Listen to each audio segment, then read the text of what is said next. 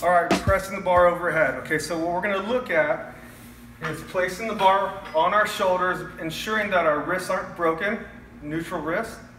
Elbows are in slightly in front of the bar underneath, and back and shoulders are nice and stable, okay? As I press overhead, I'm not looking at overextending my back. So we're gonna press, butt on, everything's nice and active. Elbows stay slightly in front of the bar, pressing right overhead.